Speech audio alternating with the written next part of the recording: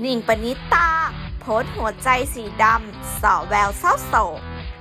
เรียกว่าเป็นอีกหนึ่งคนในวงการบันเทิง ที่ผ่านมรสุมดราม่าเรื่องครอบครัวได้แบบเหนือชั้น จนต้องมอบโล่ให้ทีเดียวกับความเก่ง และความเข้มแข็งสำหรับนักแสดงสาวหนิงปณิตา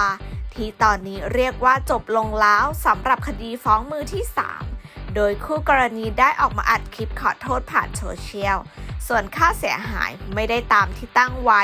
โดยเธอตั้งไว้ 10 ล้านบาท แต่คู่กรณีให้ที่3ล้านบาทผ่อน 4 ปีล่าสุดทำเอาแฟนคลับอดเป็นห่วงไม่ไหว